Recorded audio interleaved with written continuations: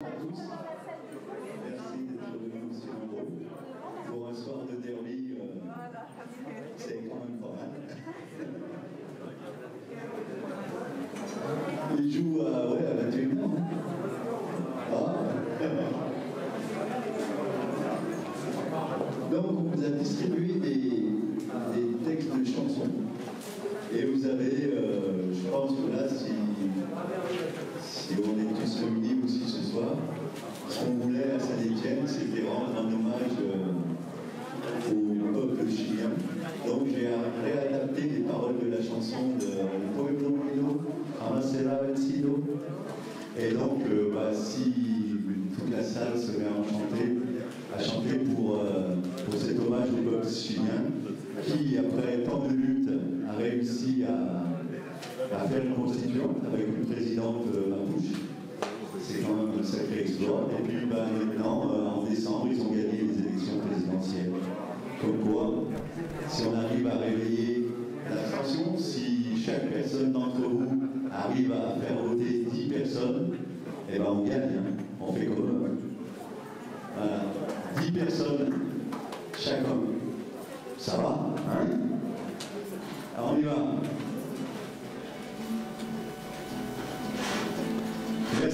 Peuple chilien qui nous ouvre le chemin.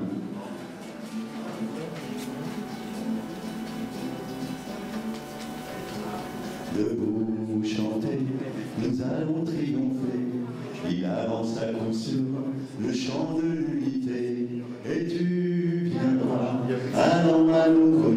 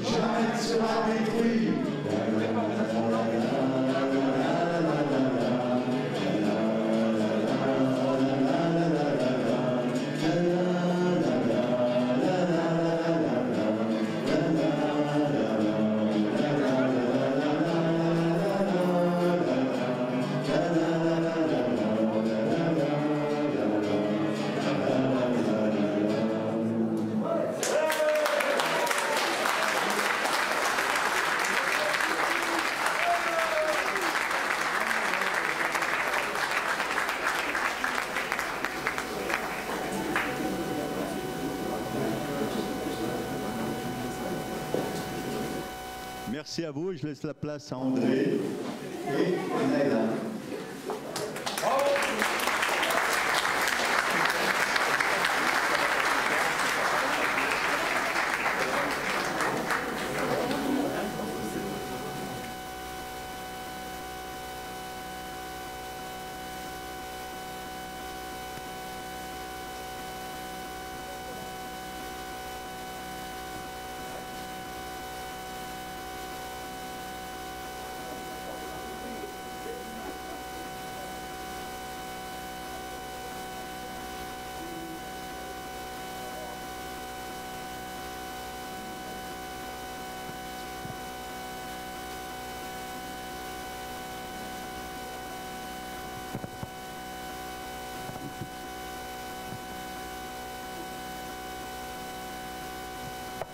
Eh bien, bonjour.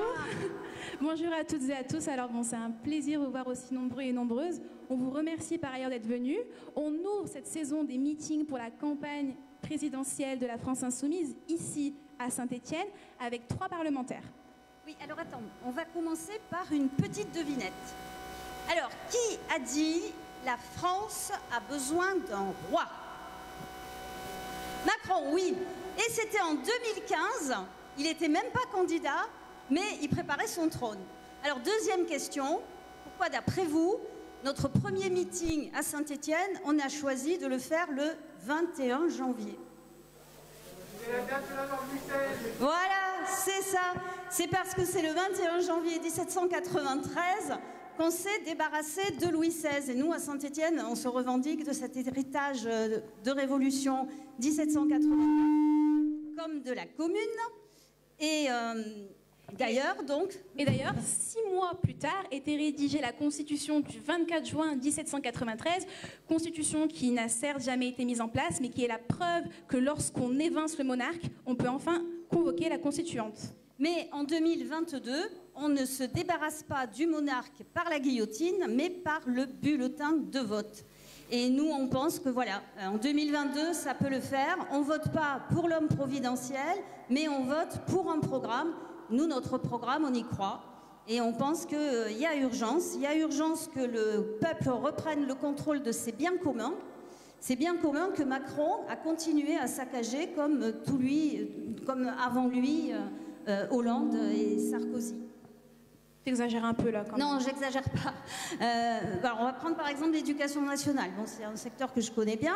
Dans l'éducation nationale, on a continué à supprimer des postes. Ici, dans la Loire, il y a un collège qui attend encore depuis trois mois d'avoir un CPE.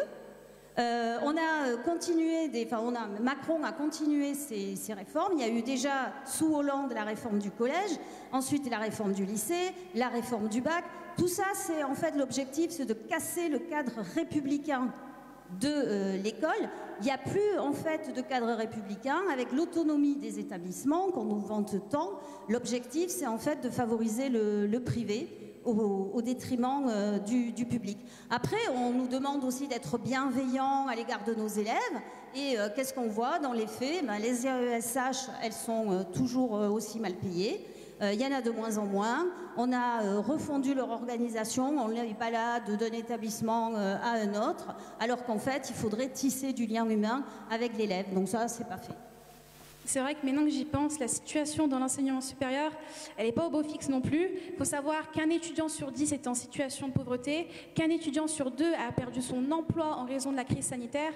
Évidemment, euh, bah, tout cela, c'est le produit de, politiques austéritaires, euh, austères pardon, qui ont commencé il y a déjà plusieurs années, mais Macron l'a continué. Et il ne décide pas de, résoudre le problème, mais procède par rustine avec ce fameux repas à 1 euro pour tous et tous qui finalement n'a duré que sept mois, avec une revalorisation des bourses d'un pour cent, avec des indemnités inflation qui ne sont ni pérennes ni suffisantes, et on devrait dire merci monseigneur. Voilà. Et cette précarisation de l'université, elle, se ressent aussi à travers une sélection, une sélection notamment au lycée euh, avec Parcoursup, qui est un algorithme quand même plutôt opaque, qui laisse pas mal d'étudiants sans perspective d'avenir. La sélection également au master, qui est tout aussi discrétionnaire, qui laisse beaucoup d'étudiants sur le carreau. On l'a vu l'été dernier, on l'a vu l'été d'avant. Et euh, on voit également aujourd'hui, je pense que vous connaissez tous cette, euh, cette mobilisation, les 100 facs de Nanterre qui, qui se mobilisent, qui euh, campent littéralement dans des locaux d'université pour avoir un avenir, pour avoir des études. Et ce, dans la sixième puissance économique du monde. On laisse des étudiants sur le carreau parce qu'il n'y a pas assez de place. Et bon, alors on ne peut pas ne pas parler de l'hôpital. Euh, vous savez que les suppressions de personnel, suppressions de lits ont continué même sous le Covid. 5700 lits ont, été supprimés. Ici, euh, dans, la, dans la région stéphanoise, donc c'est à Saint-Chamond, les urgences de nuit ont été fermées depuis le mois de novembre. Il y a des problèmes aussi à l'hôpital de, de Firmini. Donc partout, c'est la politique du chiffre alors que euh, nous, on pense qu'il faut euh, remettre l'humain euh, au cœur des, services publics, leur redonner des, moyens, bien sûr, en finir aussi avec toutes ces, théories, ces, processus de new management qu'on retrouve partout hein, dans, les, services publics, cette caporalisation. voilà, on, fait des personnels soignants en, quelque sorte des, technocrates. Donc tout ça, on pense que vraiment ça doit changer. Et cet affaiblissement de l'État-providence que nous constatons toutes et tous, bah, finalement, il n'a pas l'air euh, d'inquiéter euh, l'exécutif, puisque les thèmes de présélection des médias et des politiques, c'est le séparatisme ou encore le grand remplacement.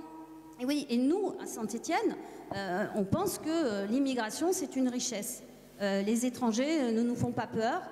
c'est de Pologne, c'est d'Espagne, c'est d'Italie, c'est du Portugal, c'est d'Algérie, c'est du Maroc, c'est de Tunisie, c'est de Turquie que sont venus euh, plein de femmes et d'hommes pour travailler dans les mines, dans les usines. Et aujourd'hui, à Saint-Étienne, on n'oublie pas ces liens de solidarité, de, ces liens de, fraternité qui font qu'on euh, a un collectif euh, qui, regroupe 25 associations qui héberge 200 familles, ce qui représente un, budget de 680 000 euros. Et en fait, ces citoyennes et ces citoyens, ils font le travail de l'État, puisque normalement, tout le monde a droit à avoir un toit sur la tête.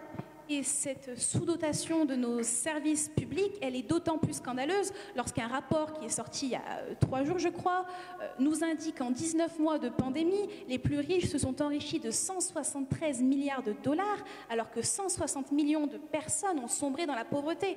Et ici, cette pauvreté à Saint-Etienne, elle ne nous épargne pas. Il y a un taux de 19% de pauvreté, ce qui est particulièrement élevé. Et Saint-Etienne est l'aire urbaine la plus pauvre de toute la région Auvergne-Rhône-Alpes.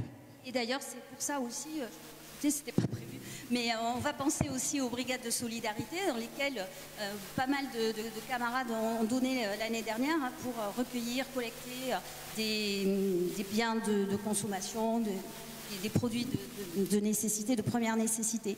Alors voilà, donc on pense que le tableau est, voilà, il est vraiment pas beau et il faut que ça change.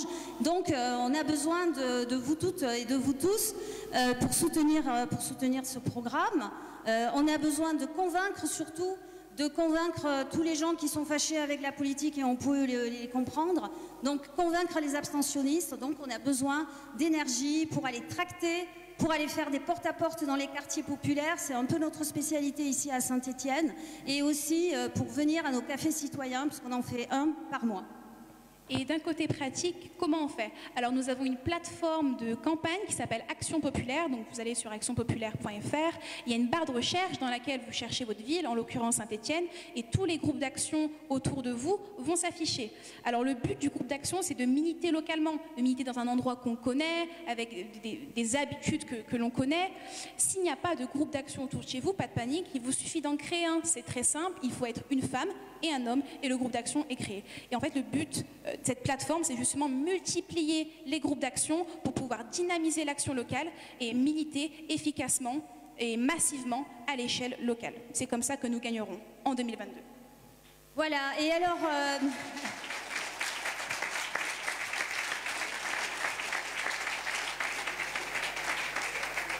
Alors, euh, quand, on, fait des tractages, quand on fait des porte-à-porte, euh, on se heurte euh, parfois à des gens qui sont très très sceptiques et qui nous disent Oui, mais bon, les élections, c'est toujours des promesses, des promesses, des promesses. Ben, nous, on est très fiers parce que nous, on a déjà un groupe parlementaire, un groupe à l'Assemblée, un groupe au Parlement européen qui font déjà un travail énorme et qui, montrent justement que les promesses peuvent être tenues parce que voilà, ils lâchent pas l'affaire, ils sont toujours présents. Et euh, bravo, euh, bravo encore pour votre travail.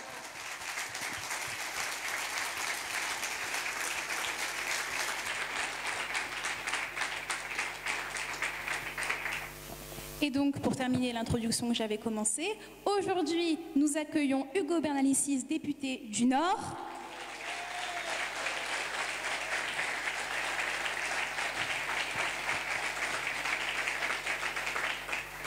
Leila Chabi, députée européenne.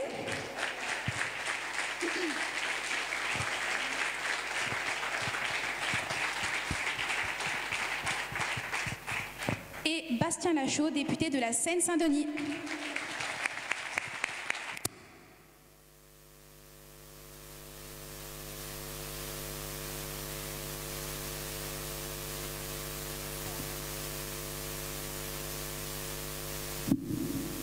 Bien, bonjour à, toutes euh, et, à, tous. Donc euh, je, vais, je, vais, commencer déjà en, remerciant l'ensemble des, militants, des bénévoles de l'Union populaire qui ont fait que cette réunion puisse se tenir et que nous soyons aussi nombreux aujourd'hui. Le fait que nous soyons aussi nombreux aujourd'hui, alors j'ai un peu regardé, moi je pense que euh, nous sommes près de 200 euh, dans cette salle à, Saint-Étienne, c'est euh, un signal fort. Il n'y a aujourd'hui aucune autre force politique dans notre famille qui est capable de réussir à rassembler autant de monde dans une réunion publique. Et on le voit à Saint-Étienne, mais on l'a vu récemment. On l'a vu à Nantes, 5000 personnes, on l'a vu à Strasbourg, plus de 2500 personnes pour euh, venir écouter le discours de, Jean-Luc Mélenchon et des réunions publiques comme celles que nous tenons aujourd'hui. Il y en a des dizaines dans tout le pays et elles font toutes salle comble. C'est la démonstration qu'aujourd'hui, l'Union populaire est la grande force politique euh, du peuple qui est une force organisée, une force structurée et une force qui est en capacité les 10 et 24 avril d'être au deuxième tour et de remporter cette élection présidentielle.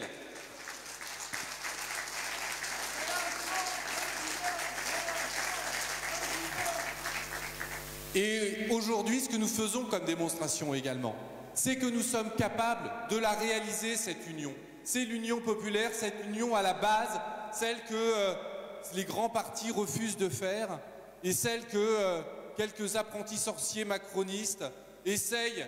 Euh, d'organiser sous le vocable de, la primaire populaire, celle qui essaye de désespérer le peuple en expliquant que sans union, nous ne pourrons jamais gagner, sans union, nous sommes voués à perdre. Nous faisons la démonstration jour après jour que l'union, on l'a fait, on l'a fait à la base, c'est dans le cadre du Parlement de l'Union populaire, c'est dans ces réunions publiques, c'est en, réunissant le peuple que nous pouvons l'emporter et que nous allons l'emporter sans avoir à négocier des accords pourri avec des partis. Et, voilà, aujourd'hui, on a un enjeu. Nous sommes obligés de nous unir. C'est ce que nous faisons. Pourquoi? Parce qu'il faut faire face aux catastrophes de notre temps. Et il, ne faut pas laisser 50 plus à Emmanuel Macron pour euh, ne rien faire face à la catastrophe climatique notamment. Parce que si on regarde, euh, euh, au niveau, mondial cette catastrophe climatique qui s'avance, si on regarde sur les trois derniers jours, nous avons eu trois nouvelles qui sont toutes plus catastrophiques les unes que les autres. Si on prend la première, c'est la fonte du glacier Thwaite, dit glacier de l'Apocalypse. Alors c'est euh, ce glacier qui, au sein de, l'Antarctique, est en train de se séparer de l'Antarctique et donc de dériver. Et plus il va dériver, plus il va fondre rapidement. Alors, euh, quand on regarde les, dimensions du, glacier, elles sont euh, gigantesques. 120 km de large par 600 km de long. Alors on se dit, bon, 600 km, qu'est-ce qu'on fait? J'ai regardé. C'est équivalent à la superficie de l'Irlande. Donc, il faut imaginer qu'on a un glacier de la taille de l'Irlande sur 3 km d'épaisseur qui est en train de dériver. C'est 50 milliards de tonnes d'eau qui vont fondre et qui vont faire monter le niveau des océans. On voit là une augmentation de 60 cm, plus ou moins, en fonction des, espaces au niveau mondial. Donc quand on disait la fonte des, pôles, euh, l'augmentation du niveau, c'est pour 2100, euh, etc. Non, en fait, c'est maintenant. C'est maintenant que c'est commencé. La catastrophe climatique, elle est aujourd'hui et on en voit les effets. On en voit les effets également parce que la deuxième nouvelle catastrophique qui a été annoncée, c'est que nous venons de vivre les sept années les plus chaudes de l'histoire depuis que nous en mesurons la température. Il s'agit donc évidemment de la température globale et évidemment, notamment, de la température des océans, avec la conséquence que l'on connaît quand l'eau des océans augmente, eh bien, il y a une déperdition de euh, la biodiversité de l'océan, les coraux notamment meurent. Et cette euh, disparition euh, des, coraux, il faut évidemment le mettre en perspective de cette sixième extinction de, masse. Aujourd'hui, on a 36 000 espèces qui sont menacées d'extinction. 36 000, c'est à peu près le nombre de villes en France. Ça donne aussi une idée de la catastrophe qui, euh, qui s'avance. Un oiseau sur six a disparu en Europe depuis 1980. On est donc là dans une catastrophe que l'on peut voir. C'est-à-dire qu'on n'est plus dans les discours qu'il y avait il y a encore dix ans où le réchauffement, on va le voir. Non, aujourd'hui, il est là. Et on ne peut plus l'en empêcher. On peut réduire ses effets et on peut s'y adapter. Mais encore faut-il agir maintenant, tout de suite. Parce que euh, il y a cinq ans, on avait Emmanuel Macron qui se prétendait le champion de la Terre. Mais alors regardons ce qu'il a fait en cinq ans. Qu'a-t-il fait pendant ces cinq années? La France est le seul pays en 2020 à ne pas avoir atteint l'objectif que nous nous étions fixés dans l'accord de Paris pour les émissions de gaz à effet de serre. Le seul pays européen. Nous sommes le pays qui n'a pas interdit le glyphosate. Nous l'avons encore proposé lors de notre dernière niche parlementaire. Tous les autres groupes ont voté contre ou se sont abstenus. Tous. Nous sommes les seuls à avoir voté pour l'interdiction du glyphosate. Emmanuel Macron est le président qui a réintroduit les néonicotinoïdes, ces pesticides qui tuent les abeilles. Et quand on connaît le rôle essentiel des abeilles dans la pollinisation, dans la biodiversité, cela est criminel pour les abeilles, pour l'humanité tout entière. C'est le président qui a réduit les subventions à l'agriculture biologique. C'est le président qui a refusé d'avancer sur les questions de, de bien-être animal, qui a refusé d'interdire les fermes-usines. Ces fermes-usines que nous interdirons immédiatement dès notre arrivée au pouvoir en 2022.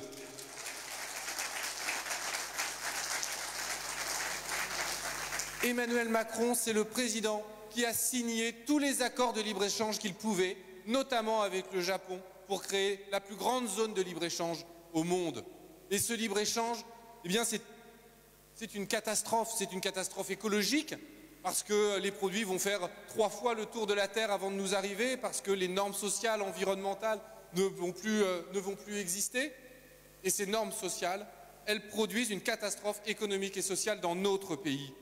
Parce que ce sont ces délocalisations, ce sont euh, euh, euh, ce, libre-échange qui aujourd'hui permettent une flambée des, chiffres des dividendes. Hein. donc ils viennent de tomber hein, les, derniers.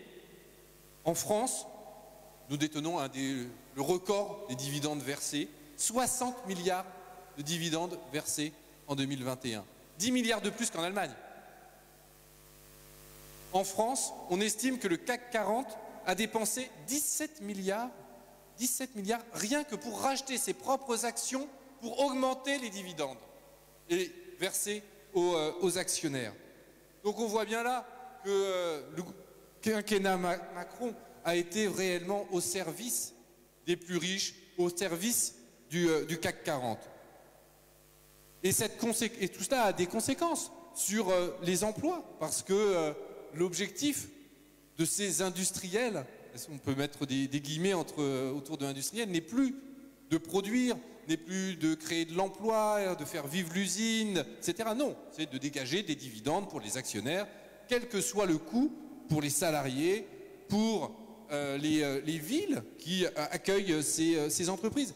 L'autre jour, je ne sais même plus, là, avec la campagne, les choses vont tellement vite, je crois que c'était mardi matin j'étais à un rassemblement de, Thalès, du groupe Thalès, devant, euh, Bercy, où euh, on voyait les différents euh, sites du groupe, Ponto de Mer, euh, Moiran, Tonon, donc quasiment toutes ces villes.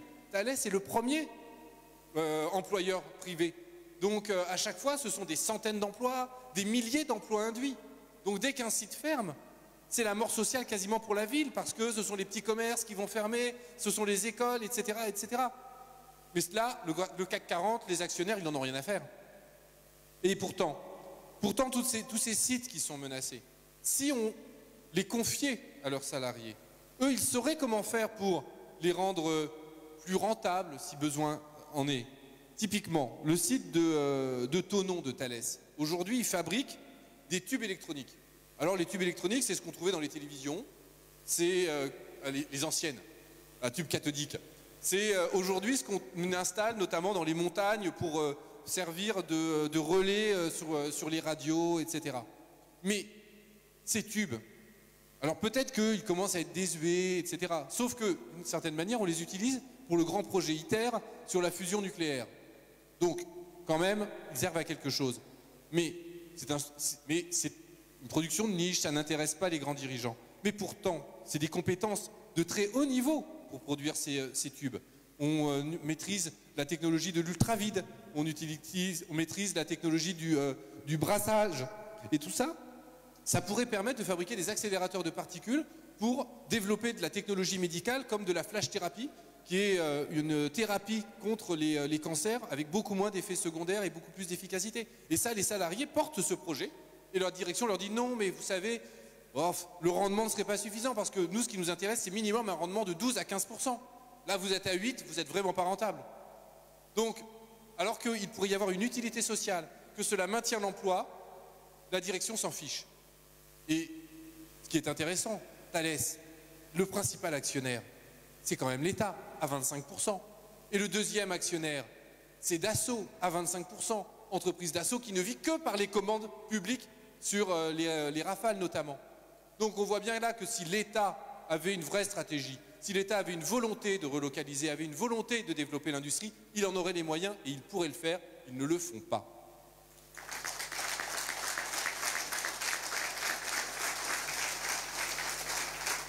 Et c'est justement avec des entreprises comme Thales, avec la possibilité de reconstruire des pôles publics, que l'on voit que l'État pourrait être un grand, un grand acteur de l'industrie. Et c'est ce que nous proposons avec la planification écologique. Nous, euh, c'est ce que euh, nous, proposons d'en finir avec euh, cette gabegie où l'État ne, fait rien et pousse par exemple l'EDF à s'endetter en vendant à perte de l'électricité à des opérateurs privés qui, eux, vont la revendre au prix du marché pour se gaver et gaver leurs actionnaires. Quelle est la logique? Il faut en revenir à un pôle public de l'énergie unique, avec des prix régulés par l'État, pour que euh, les, actionnaires ne se, ne se gavent pas quand les gens n'ont même plus les moyens de se chauffer dans ce pays, ce qui est malheureusement le cas de millions de personnes.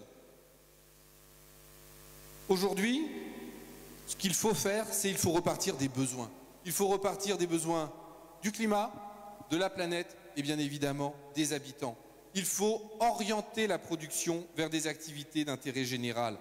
Il faut en revenir au monopole public sur les grands réseaux. Il faut garantir des pôles publics qui garantissent notre souveraineté et qui garantissent la capacité, notre possibilité d'avancer vers la transition écologique. Alors, pour euh, que ces grands groupes puissent exister, pour que euh, nous puissions avoir une action étatique puissante, il faut en finir avec le libre-échange et il faut instaurer un véritable protectionnisme écologique et solidaire aux frontières de l'Europe ou à nos frontières si l'Europe ne le veut pas parce que c'est la condition sine qua non pour y arriver. Et donc nous devrons, désobéir aux, traités européens. Nous ferons opt-out sur euh, cela pour faire respecter les normes sociales, les normes environnementales. Nous en finirons avec le travail détaché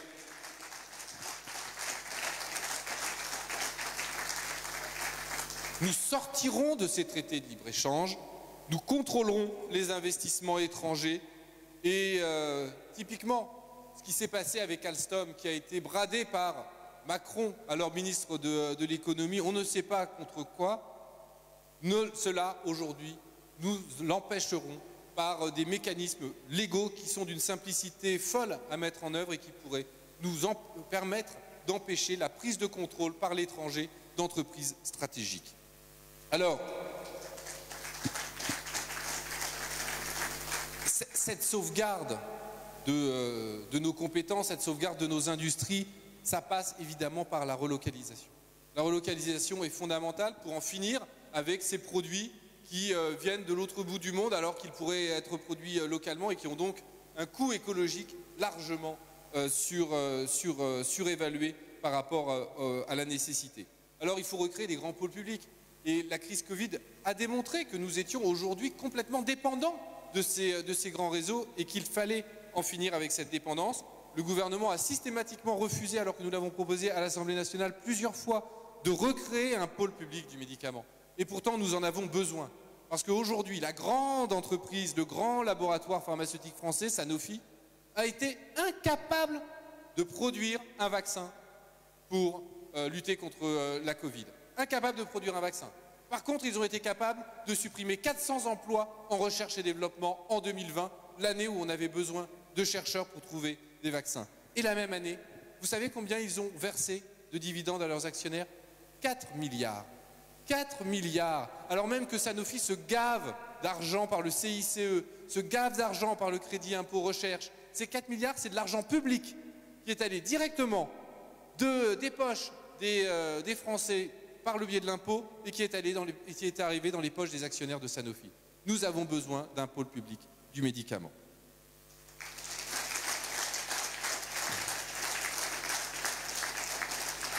Alors, alors, alors moi, je suis, je suis, membre de la commission de la défense nationale à, à l'Assemblée nationale. Comment venir à Saint-Étienne sans évoquer la manufacture de poudre rachetée par Giat, enfin reprise par Giat en 1989, qui a fermé en, euh, en 2001 Comment ne pas évoquer cette industrie de, l'armement qui aujourd'hui disparaît, euh, qui aujourd'hui est dépendante des votes à l'export, des ventes aux, euh, pétromonarchies du Golfe euh, et aux dictatures sanglantes de l'Arabie saoudite ou des Émirats dans leur guerre Saint-Étienne ne sont plus aujourd'hui utilisés par l'armée française et sont remplacés par des fusils allemands.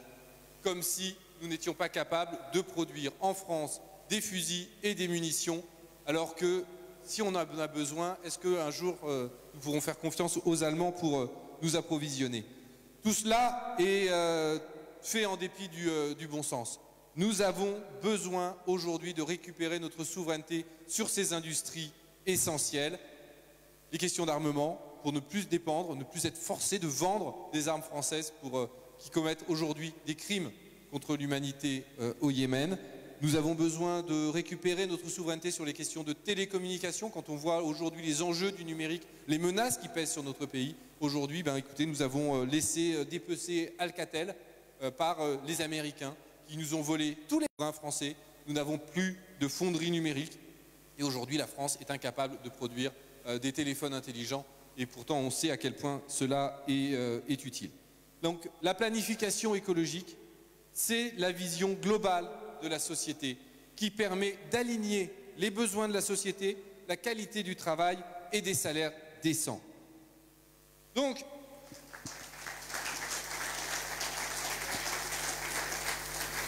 nous devons revenir sur ces processus de délocalisation, sur ces processus de désindustrialisation. Déjà, pour quatre raisons simples. Cela nous permettrait de lutter contre le chômage. Ça nous permettrait de protéger les droits des salariés qui aujourd'hui font l'objet d'un dumping social sans, euh, limite. Cela nous permettrait de réduire les, émissions de gaz à effet de serre. Cela nous permettrait de réduire les dépendances aux approvisionnements et retrouver une forme d'autonomie. Voilà, rien que pour ça, nous devons aujourd'hui relocaliser. Alors, nous devons euh, évidemment dans la, même, dans la même logique, comme je le disais sur euh, l'exemple de Thalès, il faut redonner du pouvoir aux salariés dans l'entreprise parce que c'est quand même les salariés qui savent le mieux faire tourner leur, machine. Ce ne sont pas les actionnaires qui euh, savent comment on fait tourner une usine. Il faut donner euh, un droit effectif de reprise aux salariés quand l'entreprise fait faillite. Il faut leur donner un droit de veto et il faut évidemment interdire les licenciements, euh, les licenciements boursiers. Alors,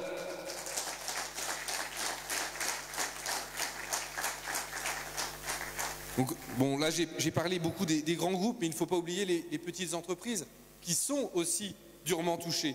Donc, il faut racheter une partie de la dette privée, notamment toute la dette Covid, tous ces prêts garantis par l'État qui ne seront pas remboursés, ben, il faut les, euh, euh, effacer. Euh, il faut investir, il faut en finir avec ces, montages financiers qui permettent de faire de l'évasion fiscale, parce que c'est réellement l'évasion fiscale la plus grande gabegie dans ce, euh, dans pays. Nous devons évidemment pratiquer cette politique de, relance par le biais des, euh, des, salaires, avec le SMIC à, à, 1400, à 1400 euros. Nous devons renforcer la formation professionnelle et la qualification de haut niveau des Françaises et des Français parce que dans les emplois de la transition écologique, ils nous auront besoin d'ingénieurs, de techniciens, d'ouvriers qualifiés de haut niveau. Et cette formation professionnelle qui est aujourd'hui une voie méprisée doit être remis euh, à l'honneur. Pour cela, l'allocation de 1063 euros par mois pour tous les étudiants et pour toutes les personnes qui suivent et qui sont parties de cette formation professionnelle est quelque chose de fondamental. Il faut assurer que la qualification est attachée à la personne et non euh, au poste. Il faut développer des structures de formation euh, ambitieuses, les lycées professionnels, les lycées des métiers, peut-être typiquement des lycées des métiers de la mer, une université francophone de, l'espace. Tout cela, toute cette logique où on dit on fait confiance au peuple, on fait confiance aux ouvriers, aux techniciens, aux ingénieurs pour porter la France aux nouvelles frontières de l'humanité, cette logique, c'est aux antipodes de ce que fait euh, la Macronie qui, euh, au contraire, broie, euh, broie les gens parce qu'il faut les ubériser, parce qu'il faut faire confiance à la finance, etc. C'est en faisant confiance au peuple que l'on réglera les problèmes de la nation. C'est en remettant le peuple au pouvoir que l'on réglera les problèmes de la nation. C'est ce que nous ferons les 10 et 24 avril en votant Jean-Luc Mélenchon. Nous réglerons les problèmes de la nation. Nous redonnerons le pouvoir au peuple. Je vous remercie.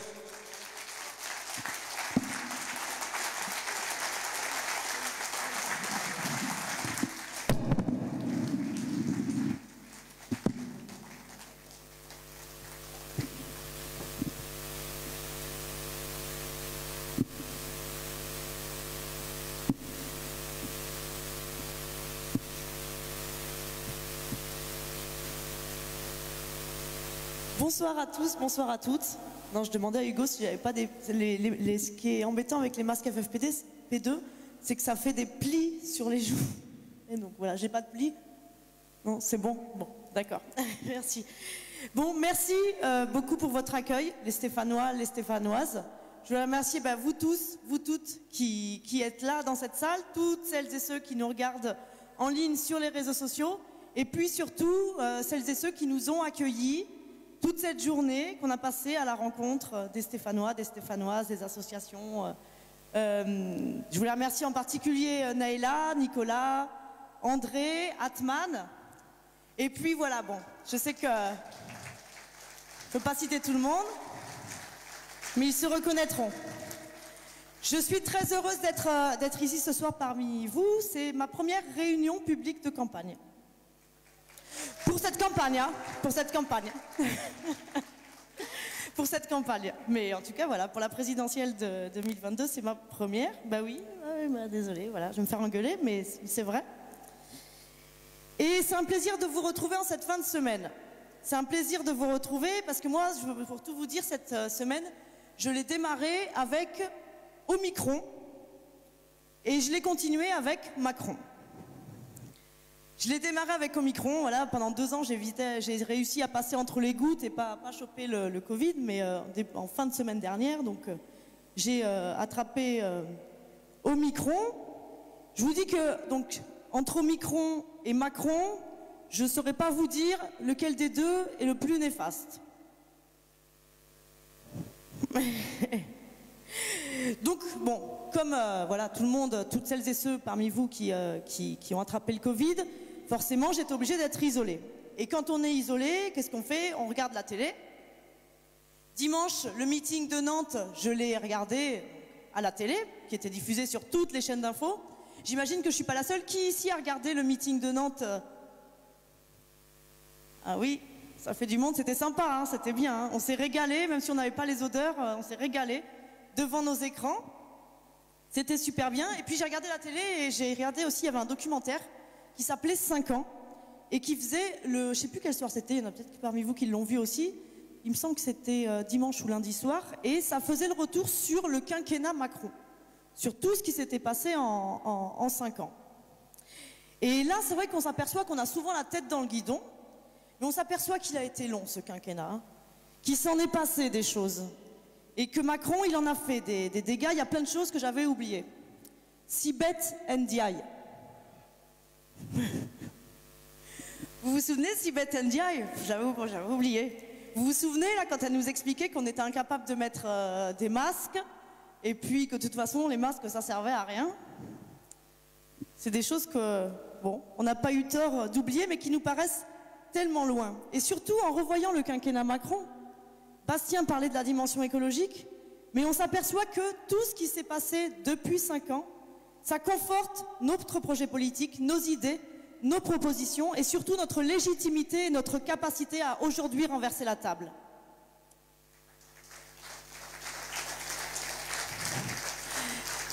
Je vous disais que c'était ma première, ma première réunion publique pour cette campagne présidentielle, mais j'avais fait la campagne présidentielle de Jean-Luc Mélenchon en 2017. Et j'ai le sentiment qu'aujourd'hui, on a beaucoup plus de cartes en main pour gagner qu'on en avait il y a cinq ans. Sur l'urgence climatique, Bastien l'a bien décrit, quand on a un glacier, comme il le décrivait, de la taille de l'Irlande, qui est en train de dériver, ça rend plus légitime que jamais nos propositions en matière de bifurcation écologique. Quand on sort, on sort, on l'espère, d'une crise qui a montré à quel point on avait besoin des hôpitaux et que le service public, les services publics, c'était le patrimoine de ceux qui n'ont pas de patrimoine, eh bien ça rend d'autant plus légitime un projet qui veut remettre le service public au cœur de nos vies.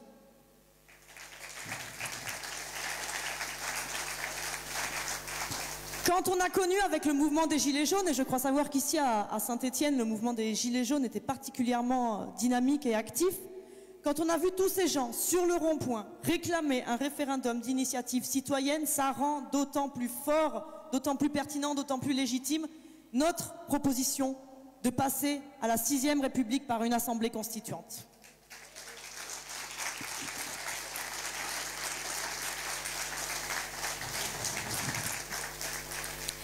c'est Antonio Gramsci qui disait que l'hégémonie culturelle est la mère de toutes les batailles politiques et que pour conquérir le pouvoir, il faut d'abord gagner la bataille culturelle.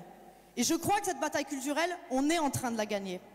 Et qu'est-ce qui manque Qu'est-ce qui manque Le programme, on l'a, Hugo, tu l'as ramené, on a les propositions.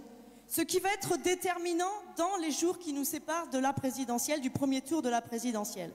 Certes, ça va être de convaincre sur notre programme. André et Neila l'ont dit tout à l'heure en introduction.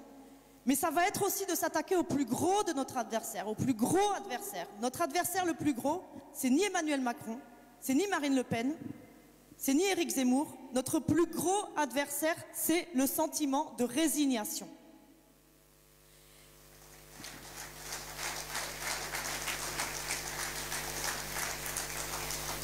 Et il y a, euh, donc cette semaine, j'étais en plénière à, Strasbourg, une fois que j'étais négative hein, euh, au Covid. Euh, et, donc, un chauffeur de taxi, je sais que, alors, quand je me suis dit que j'allais vous raconter cette anecdote, je dis, c'est vrai, enfin, moi, ça m'agace, en fait, à chaque fois quand j'entends les les hommes ou les femmes politiques euh, parler de leur chauffeur de taxi, de ce que leur a dit leur chauffeur de taxi ou le chauffeur Uber, parce qu'on a l'impression que c'est les seuls vrais gens qu'ils rencontrent euh, dans la journée, donc euh, ils font référence, mon chauffeur de taxi m'a dit ça, mon chauffeur de taxi m'a dit ça, comme si en fait en dehors du chauffeur de taxi, ils, étaient juste dans l'entre-soi.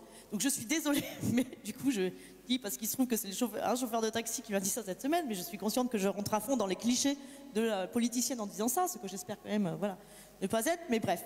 Euh, il me dit en fait, euh, ah tiens, il y a Macron, c'était le jour où Macron venait faire son discours, donc alors tout Strasbourg était complètement quadrillé de police, dispositifs de sécurité. Euh, et il me dit, oui, il y a Macron là qui, vient aujourd'hui, et puis il me raconte, il me dit que de toute façon, en gros, il faut remettre la justice sociale au cœur. Il me, en gros, il me récite notre programme. Il me récite notre programme, je me dis, ah mais il est convaincu. Je dis, vous allez voter pour qui, vous, à la présidentielle? Il dit, oh, de toute façon, c'est tous les mêmes, les politiciens, de toute façon, moi je ne vais pas voter. C'est ce sentiment de résignation qu'il y a dans la tête des gens qui est le plus important de nos adversaires. Les gens ont beau être convaincus qu'on a raison, eh bien, si on ne lève pas ce sentiment de résignation, si on ne fait pas ce déclic qui, euh, tout d'un coup, fait comprendre aux citoyens, aux citoyennes, que c'est pas seulement qu'on a raison, mais c'est qu'on peut mettre en œuvre ce qu'on dit, c'est là qu'on gagnera. Et ça m'a rappelé la méthode Alinsky. Alors Alinsky, moi c'est Sol Alinsky, c'est quelqu'un que j'ai découvert il y a quelques années. C'était une des découvertes intellectuelles qui vous bouleverse et qui bouleverse votre manière de, faire et de, militer. Et il y a quelques années, on avait monté au sein de la France Insoumise le, pôle auto-organisation. L'idée était d'importer les méthodes Alinsky au sein euh, d'un mouvement politique, ce qui euh, jusque-là euh, ne se faisait pas. Et en quoi ça consistait? En fait, que disait Alinsky? Alinsky dit qu'on a beau avoir les meilleurs arguments du monde, donc si les gens ne sont pas convaincus qu'on peut changer les choses, ils ne vont pas nous rejoindre. Et pour qu'ils soient convaincus, il faut lever un truc dans le cerveau qui s'appelle la résignation et en fait accompagner les gens dans des, petites, des petits combats qui sont euh, euh, lutter contre euh, le fait que les ordures, par exemple, ne sont pas ramassées assez régulièrement. Des petites batailles comme ça font que, une fois qu'il y a cette victoire, on se dit si j'ai réussi à obtenir cette victoire à 10, et ben si j'étais 100, qu'est-ce qui se passerait? Si j'étais 1000, si j'étais euh, euh, 100 000 Et c'est ce qui fait qu'on on ouvre, on, lève les barrières à l'engagement et on ouvre une porte en notre, direction.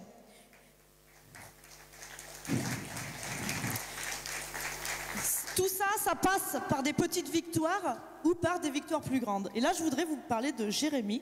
Jérémy, il est livreur de repas à domicile à Bordeaux. Il travaille pour euh, Deliveroo euh, et Uber Eats. Généralement, les livreurs, ils se connectent à plusieurs euh, plateformes.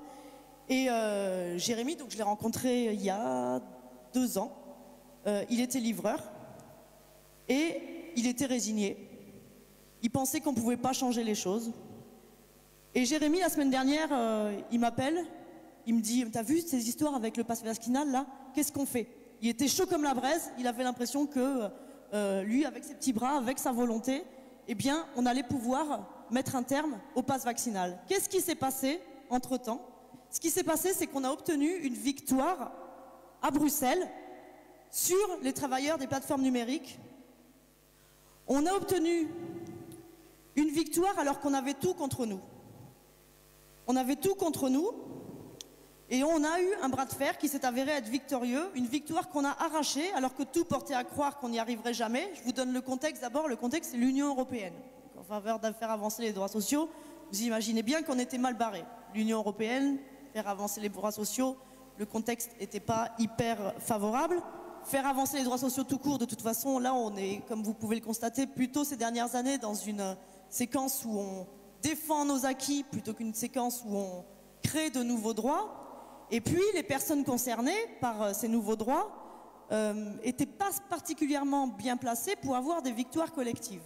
On parle donc de livreurs à deux roues, on parle de chauffeurs, de conducteurs de VTC qui sont des chauffeurs Uber, chacun étant tout seul sur son véhicule, sur son vélo, sur son scooter, dans sa voiture, avec des contrats individuels, on était loin de euh, l'image d'Épinal du salarié qui, euh, avec euh, ses euh, 50 collègues autour de la chaîne de production, avec euh, le même contrat de travail au sein de la même usine, est en capacité euh, de se mobiliser collectivement et de faire avancer ses droits. Ou déjà, on sait que même quand les conditions sont réunies, c'est difficile. Donc là, en fait, tout portait à croire que ça allait être compliqué. On avait euh, des plateformes numériques il y a deux ans, donc quand euh, elles apprennent qu'il va y avoir une loi sur les travailleurs des plateformes, ces plateformes, elles se sont dit, tiens, tiens, tiens, c'est l'opportunité de légaliser notre délit. Pour vous rappeler euh, donc, un petit point sur la, situation, sans être euh, trop longue, vous avez eu l'apparition ces dernières années de plateformes numériques qui se présentent comme des intermédiaires entre un travailleur indépendant et un client.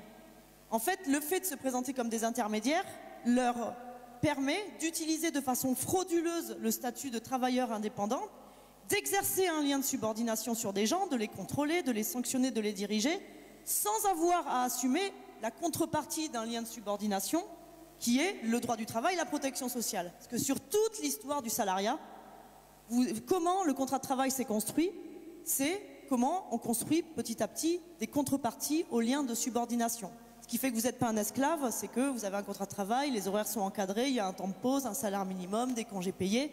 Et bien là, ces plateformes numériques ont trouvé le moyen d'utiliser, d'avoir à la fois les avantages du statut d'indépendant, les avantages du statut de salarié. Pour le travailleur, c'est les inconvénients des deux.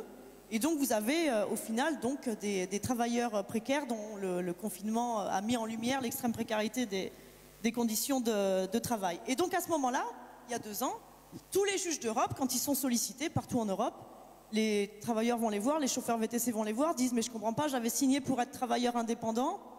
Et en fait, euh, je suis, pour reprendre leur terme, j'ai l'impression d'être dans le jeu Pokémon Go, en fait, où euh, euh, je suis le Pokémon d'Uber, où en fait, on me dirige avec l'algorithme. Je comprends pas pourquoi mon voisin, il a pas les mêmes courses que, moi. Est-ce que quand je refuse les petites courses, j'ai que des grosses courses? Est-ce que, est que quand je refuse les petites courses, ben, on m'en donne que des petites parce qu'on se rend compte que c'est les petites qui me conviennent?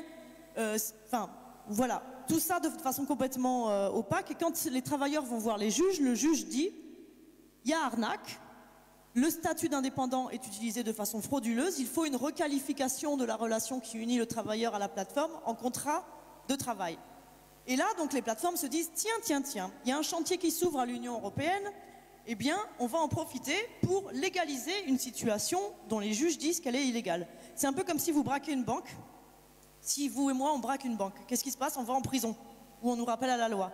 Eh bien, les plateformes, c'est comme si elles braquaient. Ouais, on va en prison. Mais, en nous rappelant la loi.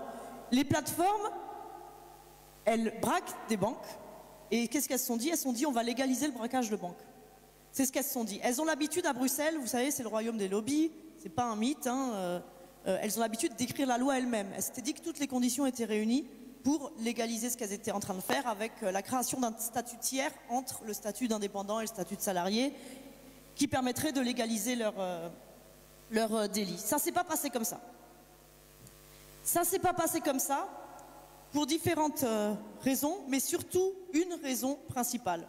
Ça s'est pas passé comme ça parce qu'on a réussi à faire en sorte qu'il y ait une irruption de la parole des travailleurs et travailleuses ubérisés sur la scène bruxelloise et de mettre face à la Commission européenne qui avait l'habitude de rencontrer uniquement des lobbies et donc euh, euh, qui, leur, qui, écrivaient eux directement la loi ou alors d'agir sous influence des lobbies, eh bien de les forcer à être sous influence d'un autre type de lobby, d'un lobby alternatif, d'un lobby populaire, le lobby des travailleurs des plateformes.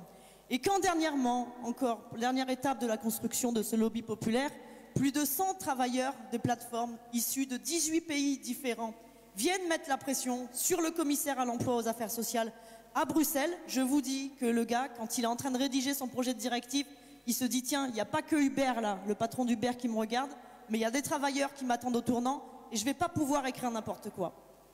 Et c'est ce qui a donné la victoire du 9 décembre dernier. Et la Commission européenne, la Commission européenne a proposé une directive qui impose une présomption de salariat aux travailleurs des plateformes numériques. Ce qui signifie concrètement que ces 4 millions de personnes au minimum, 4 millions de travailleurs en Europe, qui vont avoir droit au statut salarié, c'est-à-dire qu'elles vont avoir droit au congé payé, elles vont avoir droit au salaire minimum, elles vont avoir droit au congé maladie, au congé maternité. Et ça, c'est le résultat de deux ans de bataille, de deux ans de bras de fer. Et c'est le genre d'événement qui lève le sentiment de résignation. Je vous parlais de Jérémy.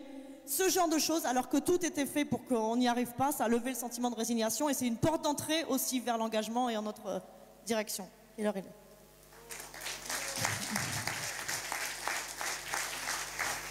C'était un. Cette histoire-là, j'en viens à Macron. C'était un bras de fer face à Macron. Le bras de fer, il a été gagné face aux plateformes, il a été gagné face à Macron, parce que je vous dis que dans cette histoire, depuis le début, quand j'ai rencontré les lobbyistes de Uber et Deliveroo, ils parlent de Macron, ils ont des étoiles dans les yeux. Hein. C'est vraiment, euh, ils sont amoureux d'Emmanuel Macron. Emmanuel Macron, qui dès le début a vu que dans cette histoire, c'était pas juste pour emmerder les travailleurs des plateformes qui défendaient les intérêts d'Uber, mais c'est aussi parce qu'il a vu qu'il y avait là l'opportunité d'un cheval de Troie qui permettrait de casser tout le salariat, de détricoter tout le salariat. Si demain vous légalisez la possibilité pour un employeur d'avoir des gens sous ses ordres sans assumer la contrepartie du lien de subordination, moi je suis le patron de Carrefour ou de n'importe quelle entreprise, pourquoi je m'embêterais à avoir des travailleurs euh, avec un contrat de travail si je peux avoir des auto-entrepreneurs mais qui en fait sont subordonnés et qui font ce que je leur dis Et Macron, il a clairement vu ça depuis le début et c'est pour ça qu'il a mis autant d'enthousiasme à, défendre les intérêts d'Uber. Ce qui me permet donc de faire le lien avec la deuxième partie de ma semaine, la partie Macron, parce que donc mardi matin, avec le nouveau protocole, donc ça faisait cinq jours que j'étais isolée, j'ai fait un test antigénique qui était négatif, et donc j'ai pu sauter dans un train pour Strasbourg, pour rejoindre la plénière, et être euh, euh, à Strasbourg à temps. Après avoir été emmerdé par Omicron, j'avais envie de me faire emmerder par Macron. Donc, vous avez dû voir relayer le discours de Macron, donc qui la France prend la présidence du Conseil de l'Union européenne, qui est une présidence qui tourne, qui d'entre les 27 pays membres de l'Union européenne. Là, c'est le tour de la France de janvier à juin. Il aurait très bien pu la décaler, sachant qu'il y a l'élection présidentielle au milieu, mais euh, il a voulu euh, la maintenir parce qu'il compte instrumentaliser cette présidence en se faisant passer pour le roi de l'Europe et il se dit que comme ça, bon, bah, ça lui fait des arguments en plus pour être euh, réélu. Bon, un discours d'Emmanuel Macron qui me rappelait, euh, enfin, qui a permis de montrer à tous les collègues des autres pays un peu euh, un aperçu de l'arrogance de notre euh, président de, la République. Sur euh, le fond, on a eu droit à Dr Jekyll et Mr Hyde, c'est-à-dire qu'on a euh, Dr Jekyll Macron en France et euh, Mr Hyde Macron en Europe qui fait l'inverse, qui dit on a un Emmanuel Macron qui nous explique à Strasbourg qui va mettre l'IVG dans la charte des droits fondamentaux, alors même que la veille, la veille, il avait demandé à ses députés à, bah, Strasbourg de voter pour la présidente du Parlement européen, qui est une Maltaise, Roberta Metsola, connue pour ses positions anti-IVG. On a sur le climat un Macron qui se présente comme le chantre du climat, alors qu'il a bataillé pour inclure le gaz et le nucléaire dans euh, les énergies classées comme renouvelables, dans la taxonomie européenne, tout en ça en s'alliant avec Viktor Orban. En parlant de Viktor Orban, on l'a beaucoup entendu rabâcher État de droit, État de droit, État de droit, Emmanuel Macron, alors que la France a été condamnée deux fois euh, par la Cour européenne des droits de l'homme pendant les manifestations a été pointée du doigt par la Cour européenne des droits de l'homme pendant les manifestations des Gilets jaunes pour euh, la répression des, euh, forces euh, de, police. Et donc sur le social, sur le social, pareil, Dr Jekyll et Mr Hyde. Je vous parlais des travailleurs des plateformes numériques. Il va passer sa présidence à essayer de saboter la proposition de la Commission européenne. Vous voyez, ces grands européistes, hein, il faut toujours respecter ce que dit la Commission européenne, mais quand ça ne va pas dans leur sens, par contre, là, on n'est plus d'accord. hein. On a Elisabeth Borne qui nous explique en gros qu'elle va désobéir au cadre posé par la Commission européenne, qu'elle voudrait désobéir. hein. Euh, donc en tout cas, vivement euh, qui dégage. Sur les travailleurs des plateformes, euh, il va clairement tout faire pour ralentir une des seules avancées sociales qui est proposée par l'Union européenne et qui a été arrachée de haute lutte. Le salaire minimum européen, vous avez dû entendre que Macron défend le, le salaire euh, minimum européen pour avoir suivi les négociations de près en étant membre de la commission emploi affaires sociales au Parlement européen. Je peux vous dire que c'est du flanc, c'est du flanc total. Son salaire minimum européen, euh, c'est quelque chose qui n'est pas obligatoire, donc c'est juste une recommandation. Et en plus, il n'y a aucun critère. C'est-à-dire que ça peut être un salaire minimum à 10% du salaire médian, 20%, à 1 euro de l'heure. Euh, pour lui, voilà, c'est un effet d'affichage, c'est juste un effet d'affichage, histoire de rattraper toute la casse sociale qu'il a montée pendant tout son quinquennat. Cette présidence française de l'Union européenne, elle doit durer normalement six mois, mais nous allons faire en sorte qu'elle dure trois mois, pas plus, qu'on va le dégager. Et pour lutter contre la vague Macron, le vaccin, c'est le vote Mélenchon. Il reste 78 jours. Il reste 78 jours. 78 jours pour convaincre. Là, il y a besoin de tout le monde. Il y a besoin de toutes et tous. Juste pour rappel, la dernière campagne présidentielle, il manquait 7 voix par bureau de vote pour qu'on soit au deuxième tour. Donc là, on a besoin vraiment de tous et de toutes pour combattre la résignation et pour porter l'union populaire au pouvoir.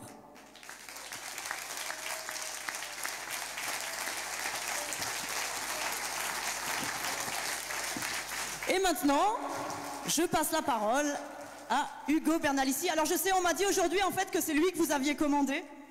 je crois que c'est Nicolas qui me disait ça. En fait, il y a sur la- l'application euh, l'Union populaire, euh, vous pouvez, ouais, c'est ça, comme un Uber, mais on peut commander son député, paraît-il. Et en fait, Nicolas me dit, en fait, à la base, oui, c'est Hugo euh, qu'on voulait, on a commandé Hugo. Ou c'est Neila qui me disait ça. On a commandé Hugo. Et bon, on se retrouve avec trois députés. Bon, d'accord. Donc voilà, celui que vous attendiez, celui que vous avez commandé, Hugo Bernalici.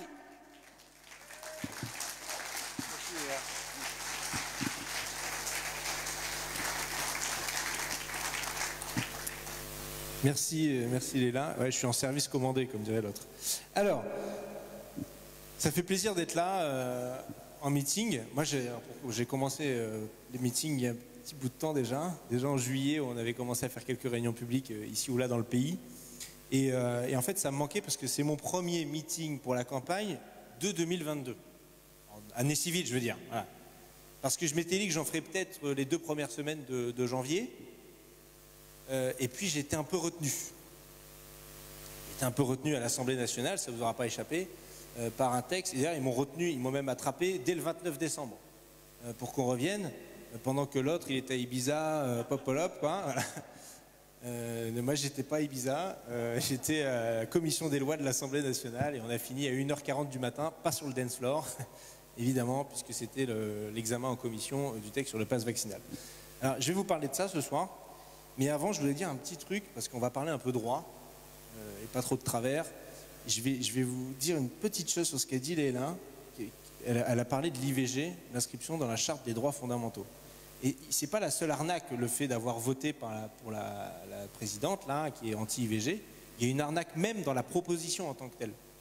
Euh, moi, j'ai rien capté, et euh, j'ai un de mes attachés parlementaires dans mon équipe, il se trouve qu'il a un master en droit public et qu'il a fait sa thèse sur la relation entre la CEDH, la, Cour européenne des droits de l'homme, et la CJUE, et notamment sur le, plan des droits fondamentaux.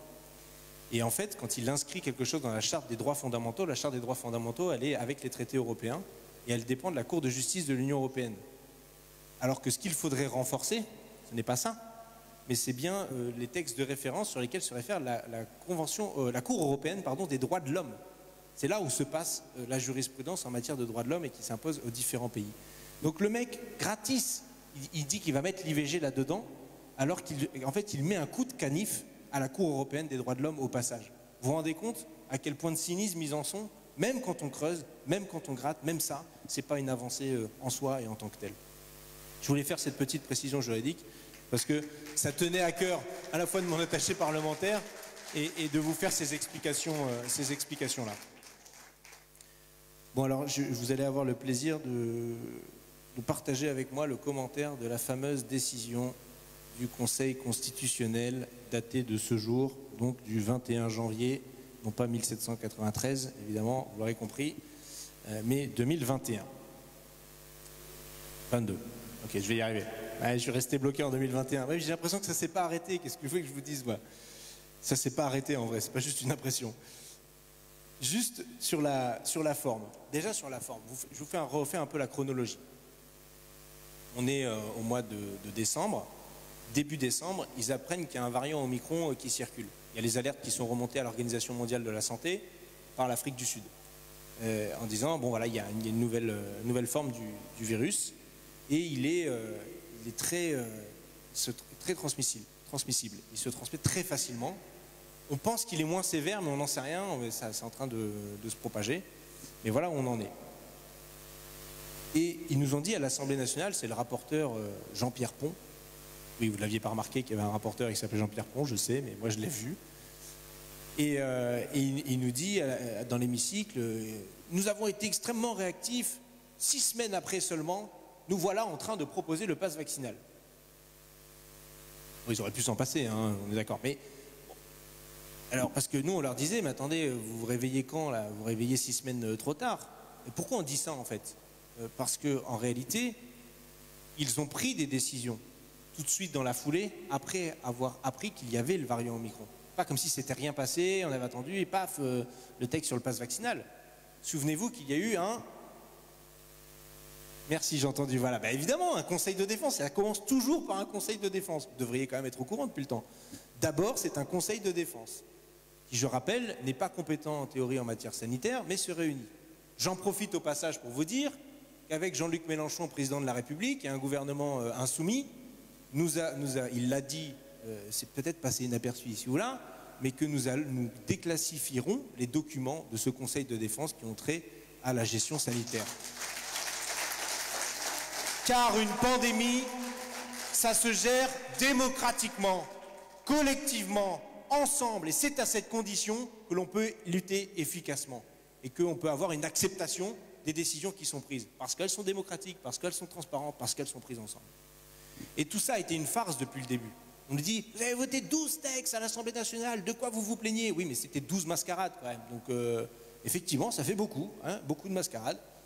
Euh, et donc, le 6 décembre, un conseil de défense. Je m'en souviens parce que le 7 décembre, j'ai posé une question au gouvernement. Parce que la, grande décision de ce conseil de défense pour lutter contre le variant Omicron, vous vous souvenez peut-être Vous en souvenez, vous?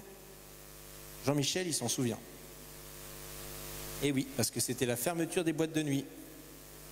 Ah, voyez où je voulais en venir, hein? Donc on a décidé de fermer les boîtes de nuit. Alors même que nous avions le pass sanitaire en vigueur, pass sanitaire qui était appliqué dans les premiers lieux dans lesquels c'était appliqué, c'était précisément les boîtes de nuit. Et les événements de grande, de grande ampleur, 5000, puis après 1000, etc. C'était les boîtes de nuit. Donc ils savaient qu'il y avait le variant Omicron, ils savaient qu'il allait pouvoir se transmettre, mais c'était la première étape pour eux. Et puis ils ont senti venir un truc, c'est qu'il euh, y a eu des positions qui ont bougé euh, sur l'échiquier politique. Ils ont bien vu que chez les républicains et au Parti socialiste, bon, euh, la vigueur de la lutte contre la passe sanitaire, euh, c'était un peu étiolé. Tout le monde était fini par dire oui, bon, finalement, c'est pas si mal, et avait adhéré à la thèse, la fiction, selon laquelle le pass sanitaire, c'était ça qui avait permis d'avoir un haut niveau de vaccination. Alors même que nous avons des points de comparaison en Europe, chez des voisins, qui ont mis le pass sanitaire soit plus tard, soit ne l'ont pas mis, et qui ont un taux de vaccination au moins aussi élevé que nous. Toutes choses étant égales par ailleurs, ce n'est pas, il n'y a pas de corrélation entre les deux. D'ailleurs, ils savent qu'il n'y a pas de corrélation entre les deux, puisque la CNIL les a interrogés à quatre reprises, au moins à quatre reprises, pour qu'ils fassent la démonstration sur l'efficacité et l'utilité du pass sanitaire, et ils n'ont jamais réussi à faire cette démonstration, et pour cause, ce n'en est pas d'une. Et même, c'était euh, M. Delfrécy qui avait été euh, entendu par la commission commune euh, Assemblée nationale et Sénat, c'est l'office nanana, sur la recherche, je sais pas quoi, c'est un nom à rallonge. Et il avait dit lui-même, non mais le pass sanitaire ne protège absolument pas. hein. C'est le fait d'être vacciné qui peut protéger des formes graves, mais le pass sanitaire en lui-même protège de rien du tout. Donc, ils nous disent le 6 décembre, on ferme les boîtes de nuit, qui sont pourtant soumises au pass sanitaire, parce qu'on ne serait pas protégé, parce que le variant Omicron arrive, et surtout, en fait, là où, l'hôpital public est en tension, ce n'est pas à cause de la vague Omicron. Qu'est-ce qui se passe mi-novembre, fin novembre et début décembre? C'est la vague Delta. C'est le variant Delta. Et on était censé se protéger du variant Delta grâce à quoi? Vous avez suivi les étapes, au pass sanitaire. Ils nous ont fait gober et avaler en juillet. Donc ils pourraient à tout le moins se dire qu'ils sont plantés, quoi. Ah bon, à la limite, on leur en veut pas, c'est pas si facile que ça de gérer. Non, si on leur en veut, pardon. Bon, ok, on leur en veut. Mais imaginons qu'on leur en veuille pas. Euh, ils, pourraient au moins reconnaître que c'était pas le bon, le bon outil, la bonne méthode, et que tout miser sur le vaccin euh, ben, n'arrivait pas, n'a- n'abouti- n'aboutissait pas à leur conclusion. Mais non, il faut qu'ils s'entêtent. Et ils ont bien vu que, du coup, les républicains, pris dans tout ça, les, socialistes, pris dans tout ça, finissent par adhérer à l'idée qu'il faudrait peut-être une vaccination obligatoire, se disant eux-mêmes que le vaccin est la seule solution et la solution euh, principale pour tout ça. Et je pense qu'il s'est dit plusieurs choses d'un coup, Emmanuel Macron. Il s'est dit, bon, j'ai un petit souci quand même. Euh, bon, il y a les insoumis qui vont euh, m'embêter au, au niveau européen, ça c'est vrai. Il l'avait pas encore bien. Maintenant, il comprend. Mais il avait surtout un problème du pouvoir d'achat, comme ça qu'il dit, j'aime pas trop le terme, mais on va dire que c'est le terme médiatique qui est utilisé. En tout cas, des gens galèrent à payer leurs factures à la fin du mois. De plus en plus et dans plus en plus de domaines. Parce que le prix de l'électricité explose. Et quand le prix de l'électricité explose, c'est pas juste pour vous particulier, c'est aussi tout un tas de produits dont le prix augmente, notamment tout ce qui dépend d'une industrie électro-intensive. Il a besoin d'électricité pour fonctionner. Et puis c'est aussi euh, le prix du gaz qui augmente. Et puis c'est aussi le prix du carburant qui augmente. Et puis maintenant, c'est les fruits et légumes qui augmentent. Bon, c'est un peu des sujets chiants pour un président de la République qui se revendique comme étant le président du pouvoir d'achat, hein, quand même. Ça, ça commençait à être un peu embêtant, je trouve. Il y, en a un avant qui avait fait ça, il s'appelait euh, Nicolas. Nicolas. Ah, ça me revient plus. Non, je ne vous ferai pas une imitation. Nicolas Sarkozy. Et à la fin, il a perdu, hein, si vous vous souvenez bien, hein, euh, après ça. Oui, vous vous en souvenez. Donc, euh. Donc, il se dit, allez, si je leur mets un passe vaccinal entre les pattes, je vais faire d'une pierre trois coups. Je vais assécher les républicains et les socialistes, qui n'auront plus rien à dire, sauf à dire, bah oui, on est plutôt contre, mais en fait d'accord un petit peu, etc. Ce qui s'est passé, vous avez vu les votes complètement exploser dans leur groupe parlementaire euh, respectifs. Et puis, euh, euh, il s'est dit, au moins on parlera que de ça. Et d'ailleurs, ça n'a pas loupé. Hein. Du temps passant. C'est vrai. Et nous-mêmes, on était à fond dans la bataille, mais bon, il fallait bien la mener. Euh, donc, euh, il a fait euh, d'une pierre, d'une pierre trois coups. Et le troisième coup, quel est-il? C'est l'interview. L'interview qui tombe là, en plein milieu, où il dit qu'il emmerde les non-vaccinés. En fait, il emmerde les Français tout entiers, on le sait. On a vu, parce que d'ailleurs, qui va être confronté au contrôle permanent de montrer le QR code, la pièce d'identité, etc. C'est même pas les non-vaccinés, puisqu'eux, ils savent qu'ils ne pourront pas y aller. C'est bien ceux qui sont vaccinés qu'on va emmerder matin, midi et soir. Et ceux qui sont non vaccinés, on les emmerde par ailleurs parce qu'ils sont exclus définitivement de la vie sociale. Tels des. D'ailleurs, il va jusqu'au bout de l'explication en expliquant que ce sont des, non-citoyens, une déchéance de, nationalité, de citoyenneté, pardon, j'ai fait un lapsus, euh, qui, euh, euh, qui leur est imposée. Ce qui permet de dire que finalement, si l'hôpital public est surchargé, s'il y a des tensions, c'est pas parce que le pass sanitaire n'a pas fonctionné vis-à-vis du variant Delta. Non, non, c'est pas parce qu'ils ont supprimé 5000 lits d'hôpitaux pendant la pandémie, dont 500 en réanimation. Non, non, c'est pas parce qu'ils ont toujours pas mis de purificateur d'air. Non, c'est pas ça. C'est pas non plus parce qu'il y a toujours pas de masques FFP2 produits en masse et gratuits dans le pays. Non, c'est pas ça non plus. Euh, c'est pas non plus parce qu'il n'y a pas des tests gratuits pour toutes et tous. C'est pas parce qu'ils auraient pas nationalisé Sanofi ou pas levé euh, les brevets sur les vaccins, fait la transparence sur les prix aussi des vaccins en tant que tels. Non, c'est pas à cause de tout ça. C'est uniquement à cause des 8 euh, ou 9 de personnes non vaccinées.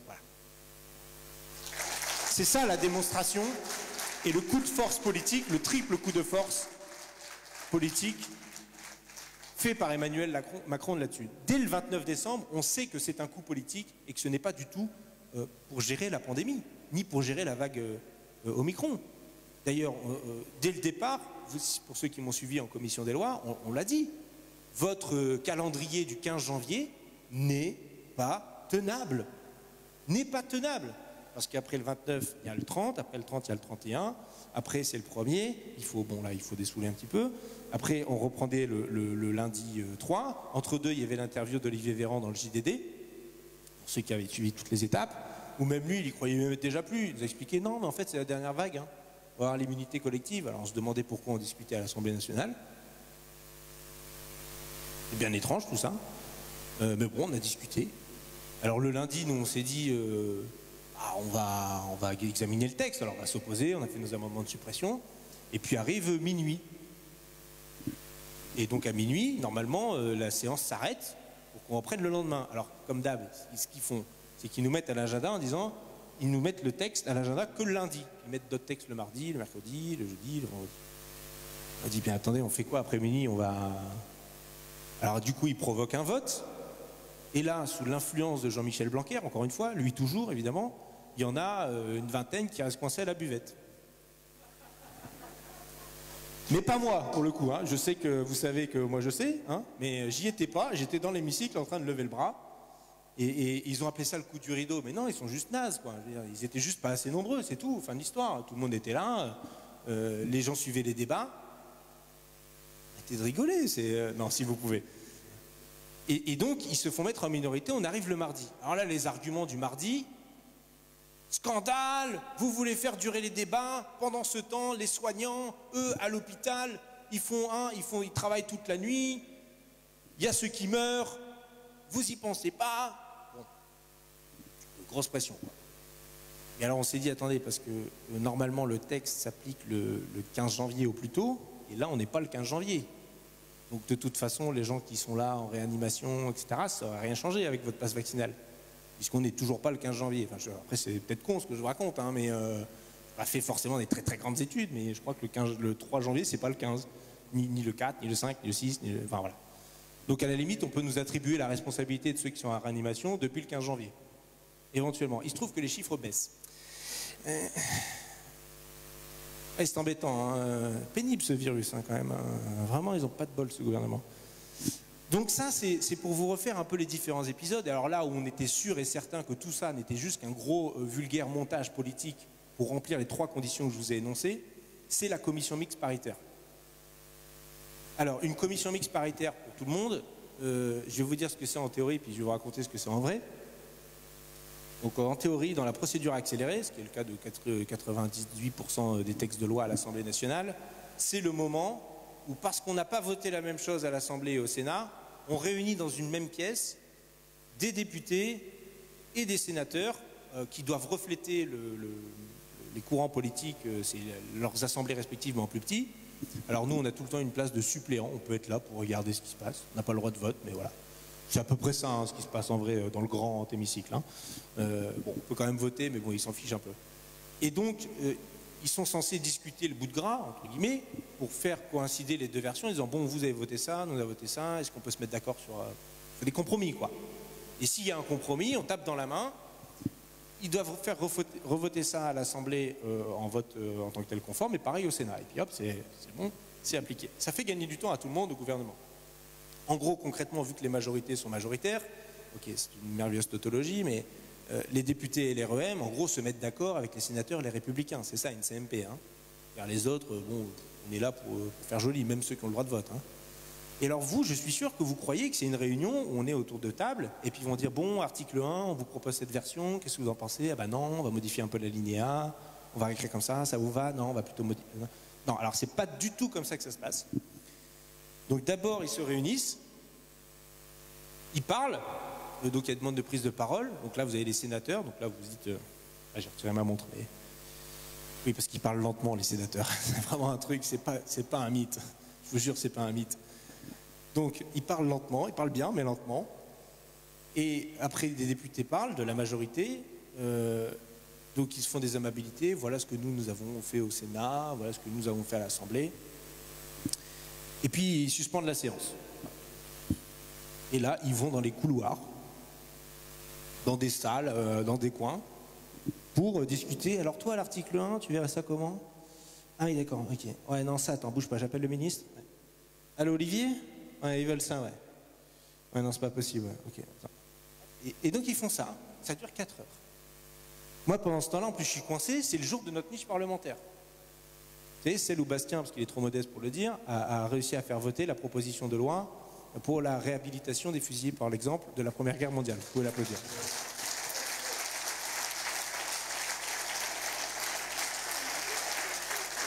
On a même fait passer deux textes ce jour-là. C'est un jour un peu bizarre. On a fait voter deux textes, notamment sur la, la reconnaissance de l'endométriose comme affection de longue durée, voté par Clémentine.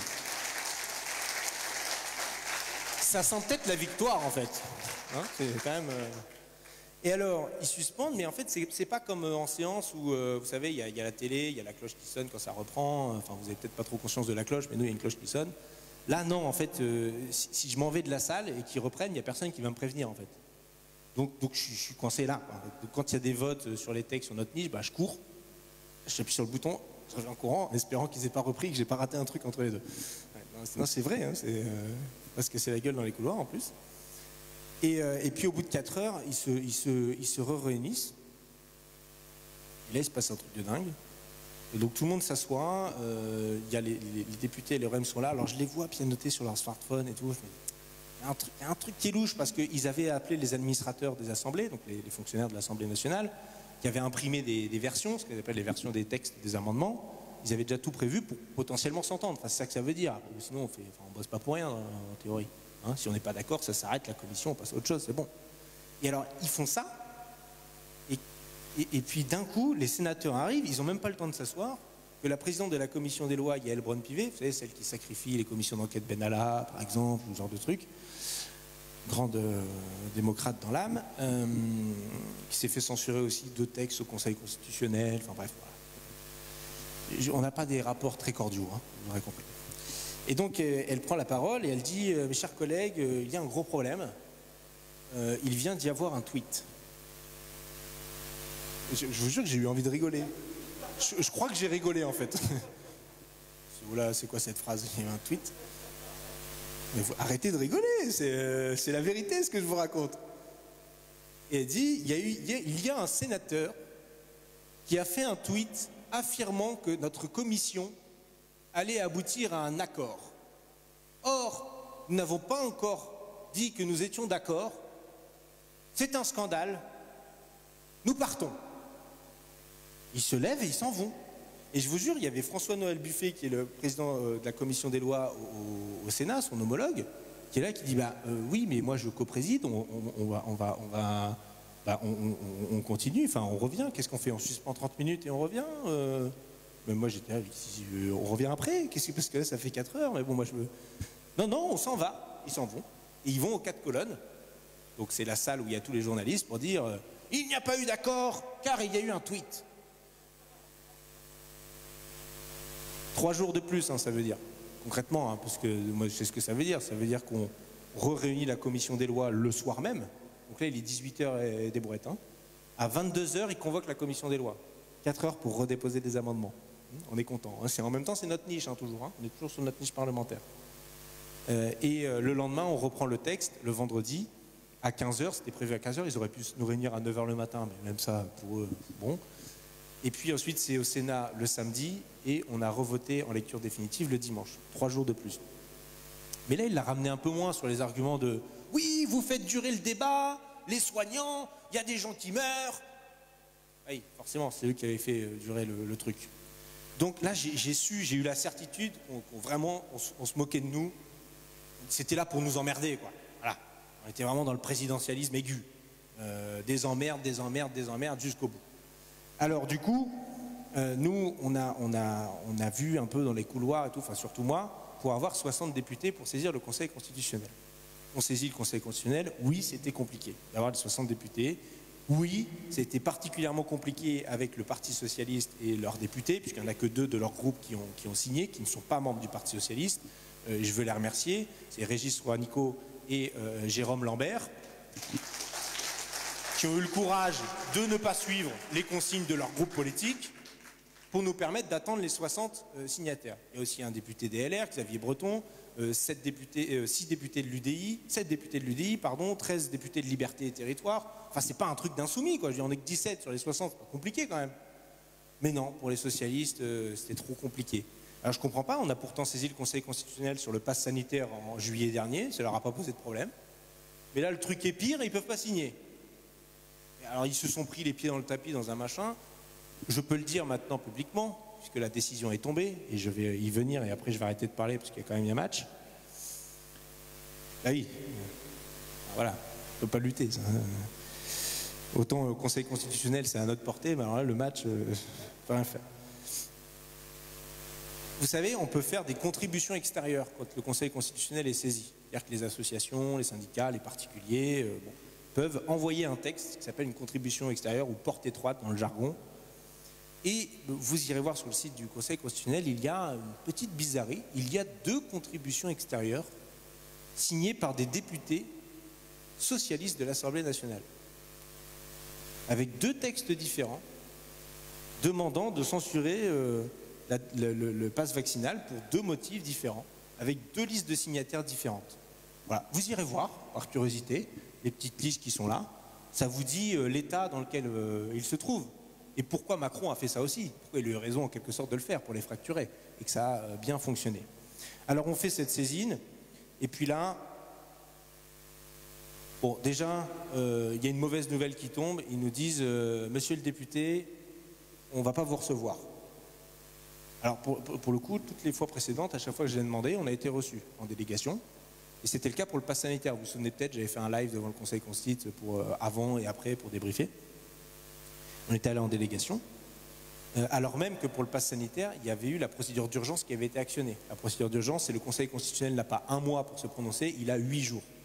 Et le Conseil constitutionnel avait dit à l'époque, on prendra nos huit jours. Ils avaient annoncé dès le départ, nous rendrons la décision le 5 août. Ce qui fait que le texte, enfin le, le pass sanitaire s'est appliqué qu'à partir du 5 août, à contrario des desiderata du monarque qui nous avait annoncé la date, je ne sais plus, 25 juillet, je crois, un truc comme ça, et c'était avancé encore une fois, Conseil de défense, passage télé, euh, bon, patatras, les insoumis, et hop, il a pris 10 jours dans la vue. Euh, là, il a pris un peu moins de jours dans la vue, puisqu'ils en ont assez, on ne vous recevra pas, et on, se rendra notre décision le vendredi. Dimanche, vendredi, 5 jours. Ils n'ont pas pris leurs 8 jours qui pouvaient les amener à début de semaine euh, suivante. Là, je me suis dit, soit ils sont sûrs de leur coup, ils savent qu'ils vont censurer des trucs, bonne nouvelle, soit ils sont sûrs de leur coup, ils n'en ont rien à faire. Vous savez quelle est l'issue de, cette histoire, puisque maintenant nous avons la décision. On avait même le gouvernement qui annonçait des dates d'application dès le jeudi.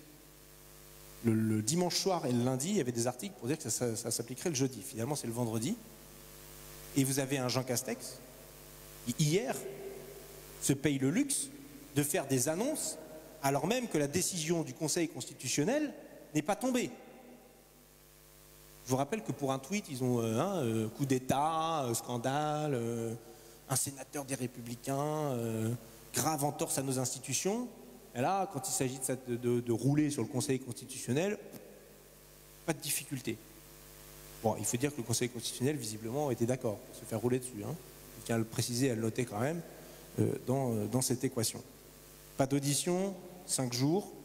les annonces de Castex avant, Libération qui sort l'information, environ 15 à 20 minutes avant la publication euh, officiellement sur le site du Conseil constitutionnel. Bon, je ne sais pas quelles conclusions il faut en tirer. Enfin, si je sais.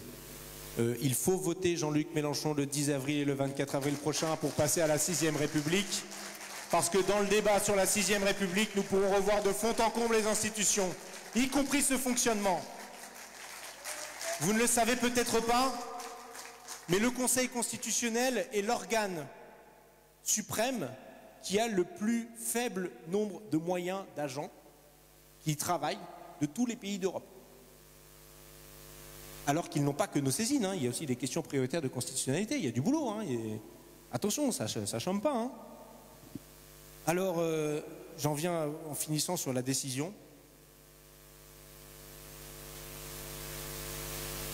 Le, Conseil constitutionnel dit que le texte, ils disent pas ça, ils disent le législateur, ça commence comme ça les phrases, comme si c'était de notre faute, enfin pas de la mienne en tout cas. Ils auraient pu dire LREM a ainsi, plutôt que ce serait plus simple, il a ainsi poursuivi, donc le législateur, l'objectif de valeur constitutionnelle de protection de la santé. C'est euh, l'argument massu. Il y a un objectif à valeur constitutionnelle qui a été décliné de la jurisprudence, des différents euh, questionnements du Conseil, de protection euh, de la santé. Jusqu'à présent, il le mettait en balance avec d'autres objectifs à valeur constitutionnelle ou grands principes de la République, des libertés fondamentales, la liberté d'aller et venir, la, vie privée, euh, euh, la, liberté politique de se réunir, etc. etc.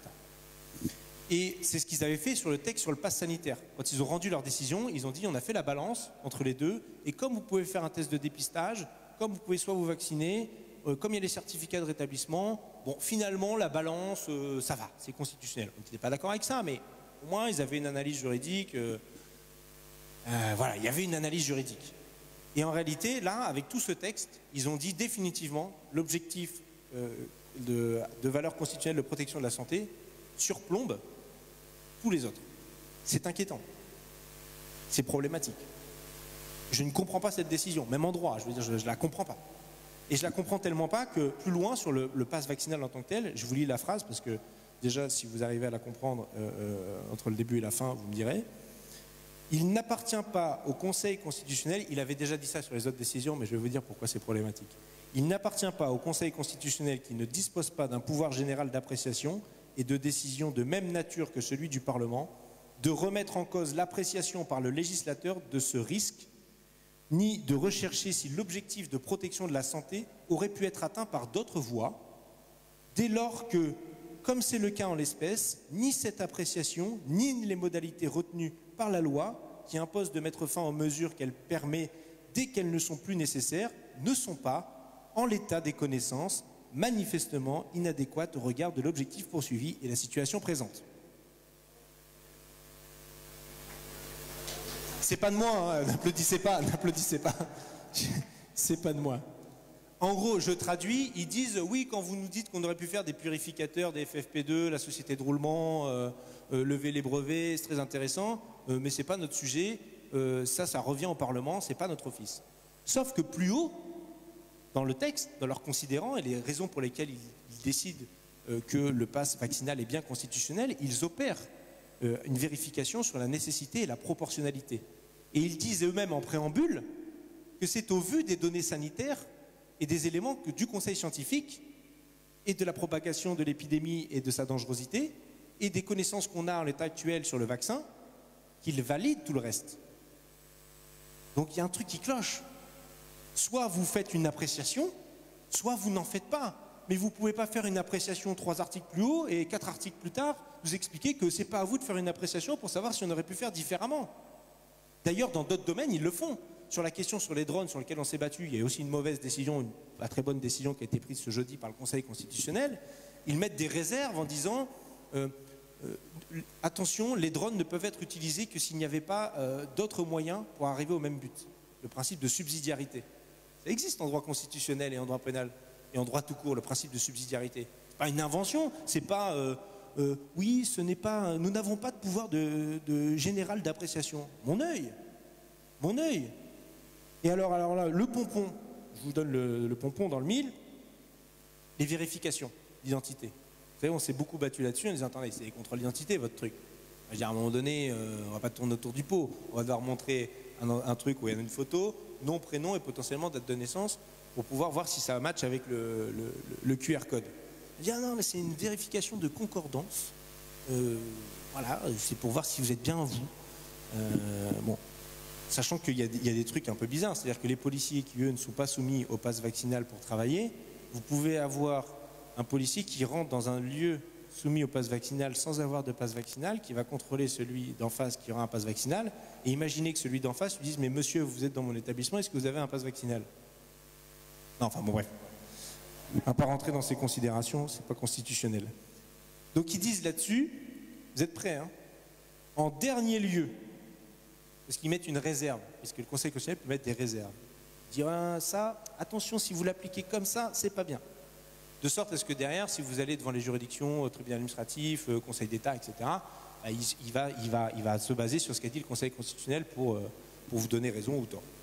En dernier lieu, la mise en œuvre des dispositions contestées ne saurait, sans méconnaître le principe d'égalité devant la loi, s'opérer qu'en se fondant sur des critères excluant toute discrimination de quelque nature que ce soit entre les personnes. Donc, je, récapitule, hein. on va devoir vérifier l'identité de- avec le pass sanitaire sans être discriminatoire. Or, le texte tel qu'il est rédigé, vous ne pouvez faire le contrôle que si vous avez des raisons sérieuses de penser que la personne fraude. Donc, à part en discriminant, je ne sais pas comment on fait en fait. Alors, soit, ils ont voulu dire en fait on censure, mais il ne faut pas le dire. Euh, soit je ne pige pas ce truc, sinon c'est pour se rassurer, pour se faire plaisir en fait en tant que tel.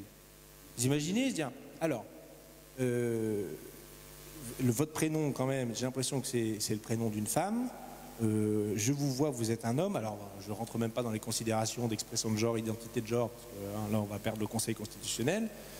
Euh, et donc, euh, je vous demande, je vous contrôle, parce que visiblement, et du coup, c'est opérer une discrimination sur la base du sexe. Bah, c'est- factuellement, enfin, je veux dire, je ne vois pas comment on fait autrement, en fait, en réalité. Donc, voyez comment toute cette décision est, plus qu'étrange juridiquement. On a là un gouvernement qui a rendu sa copie et un conseil constitutionnel qui a fait CTRL-C, CTRL-V, un vulgaire copier-coller. Et ça en dit long de l'état dans lequel on se trouve, de tout ce qu'on a dénoncé de l'effet cliqué, d'un texte à l'autre. Il repousse les limites de ce qui est acceptable et que le Conseil constitutionnel le valide. Parce que si vous regardez la décision qu'ils ont prise en, en juillet dernier sur le pass sanitaire, celle-ci contrevient. Elle est à l'opposé sur tout un tas de points. Qu'est-ce qui s'est passé entre deux? C'est les mêmes types pourtant. Et pendant ce temps-là, on va libérer les énergies dans le pays, euh, puisqu'ils ont levé un certain nombre de restrictions. Et vous l'avez vu. Alors évidemment, parce que comme vous n'avez rien capté, euh, vous allez vous faire en papaoter par, euh, par le gouvernement, euh, puisque, à votre avis, pourquoi vont-ils pouvoir lever les restrictions? Parce que parce qu'il y a le pass vaccinal. Bah oui, voilà, vous êtes fait avoir. Bravo.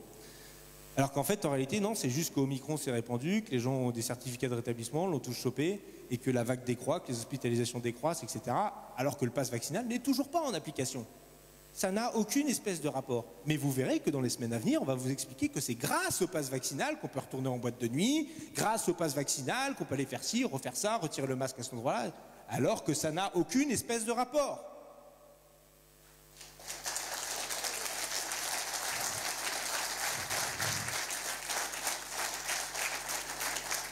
Et je conclus en vous disant que oui, nous pouvons gérer la pandémie dans la liberté et en responsabilité. Nous saurons le faire et nous allons le faire. Les 10 avril et 24 avril prochains, si vous n'avez pas déjà le bouquin, achetez-le. Il y a un candidat à l'élection présidentielle qui s'appelle Jean-Luc Mélenchon. Il y a des femmes et des hommes qui sont là devant vous ce soir, sans doute dans la salle et ailleurs de pays, dans le pays, qui sont prêts à gouverner le pays. Nous saurons faire plusieurs gouvernements s'il le faut, s'il le fallait. On n'en fera qu'un seul hein, dans un premier temps, je vous rassure. Donc, n'attendez plus. Aidez-nous si vous êtes euh, en capacité de le faire. Vous pouvez aider, distribuer des tracts, bien sûr, que des affiches. Vous pouvez aider sur les réseaux sociaux. Vous pouvez être euh, pénible, emmerdant, voilà, c'est de chercher le terme, emmerdant en repas de famille, dans les soirées avec les amis. C'est maintenant que ça se joue, 78 jours. C'est maintenant que ça se joue. On peut gagner, on va gagner.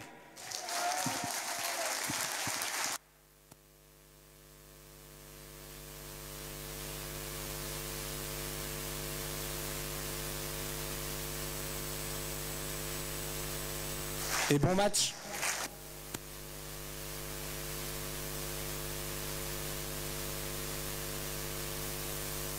Alors on va faire une petite pause musicale, bien sûr, pour qu'ils puissent se reposer. Et puis si des personnes euh, dans la salle veulent poser quelques questions, soit pas trop long. Euh, voilà, à l'essentiel et, et puis ben ils essaieront de, de vous répondre. Ben, ils vont vous répondre sûrement de toute façon. hein. Voilà, donc une petite pause chanson. Alors si vous avez des papiers.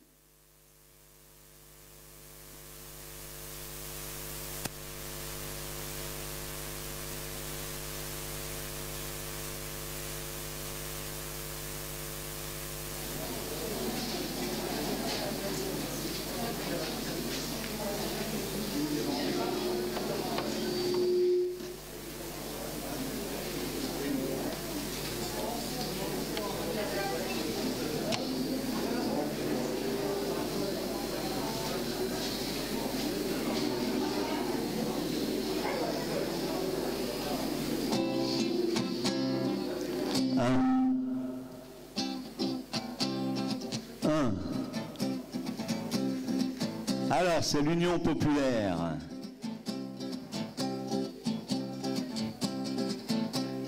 Ah, la tonalité Ah, finalement, on est toujours là pour l'Union populaire, et c'est bien comme ça. Ah, finalement, on est toujours là. La sixième République, ensemble on la fera. Nous, on veut toujours lutter pour l'urgence climatique, pour l'urgence démocratique, pour l'urgence sociale, pour l'urgence fiscale, pour la paix. Ah, finalement, on est toujours là. La sixième République, ensemble on la fera. Viennent les jours heureux. C'est l'union populaire, la clé pour combattre l'abstention. Les mauvais jours finiront par l'action. Viennent les jours heureux. C'est les espoirs que l'on sème pour notre avenir en commun. Le chacun pour soi tombera de nos bras. Viennent les jours heureux. Viennent les jours heureux. Résistance, résistance, résistance, résistance. Ah, finalement, on est toujours là pour l'Union populaire. Et c'est bien comme ça. Ah, finalement, on est toujours là. La sixième République, ensemble on la fera. Nous, on veut toujours lutter pour l'urgence climatique, pour l'urgence démocratique, pour l'urgence sociale, pour l'urgence fiscale, pour la paix. Ah, finalement, on est toujours là. La sixième République, ensemble on la fera. Viennent les jours heureux.